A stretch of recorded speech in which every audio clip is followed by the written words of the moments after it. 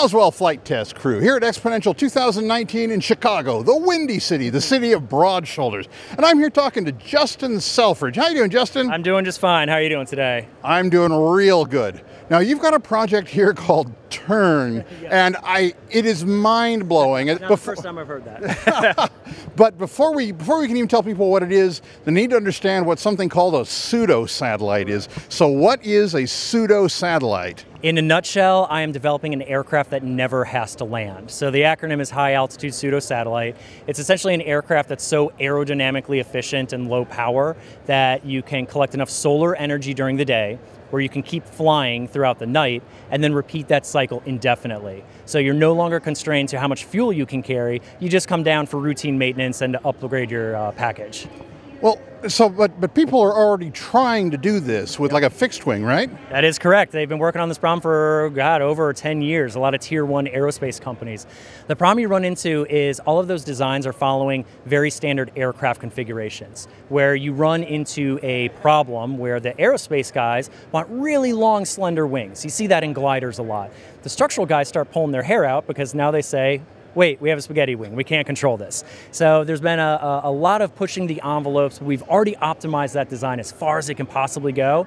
It can't do the job with existing solar cells and battery technology. We're just not there.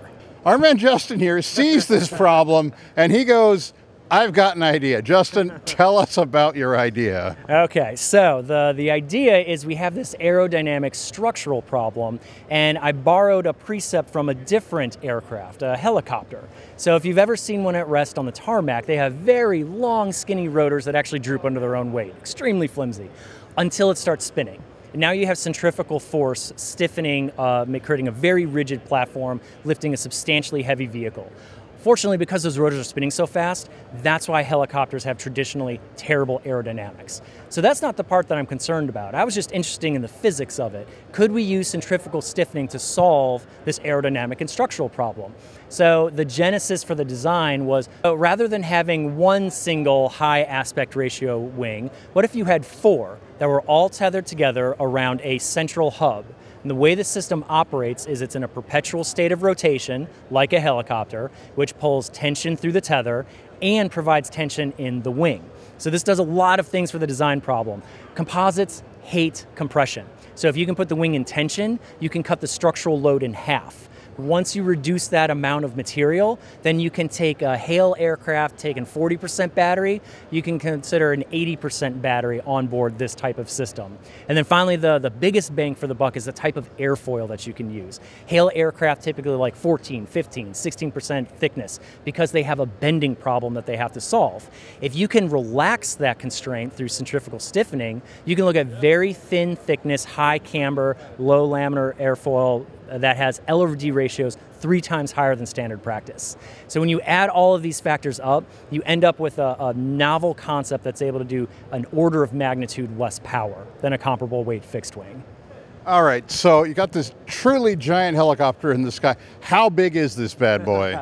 It sounds big. It's really not as big as some other HALE aircraft. The, the wing panel itself is about 30 meters. I've looked at numbers with an aspect ratio of 50, which at first sounds big, but it's actually uh, comparable to some gliders that we see in practice without the benefit of centrifugal stiffening.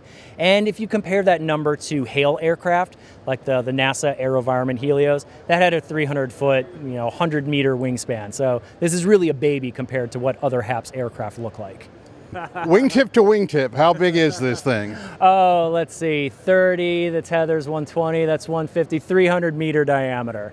So close to a thousand feet. Uh, yes. Yeah, about a, uh, what's that, a fifth of a mile? we got to start changing our scale.